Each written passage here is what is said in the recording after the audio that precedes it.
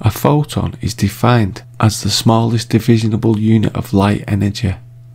These are the definitions we have constructed to help place a label on what we define as the smallest divisible unit of anything observable through the third dimensional physicality.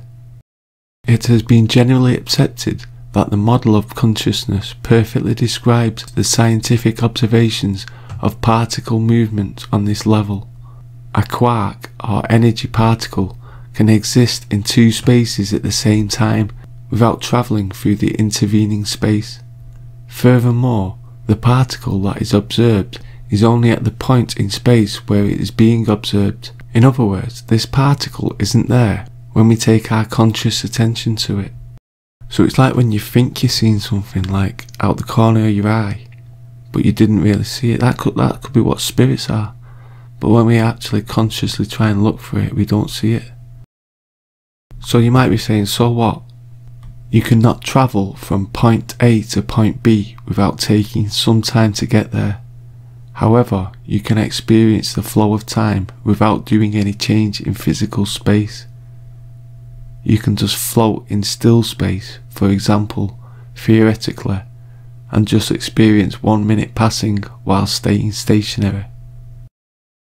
Going back to the photon particles, say we are all of a sudden in a region of space where there are excess positrons, that is the smallest particle with a positive charge.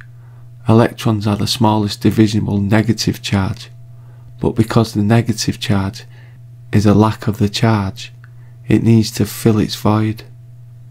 Just like a black hole sucks in everything, even light. Our civilization and technology is based on electricity, which uses the movement of electrons to fill in their void. The power of all our machines, therefore, all our cities are in excess of electronic signals, which are EMF, electromagnetic frequencies, such as those emitted from television, radio, computers. This stuff is bad for us, and we need our positrons to keep our molecules spinning in the direction of the sacred geometry of the universe.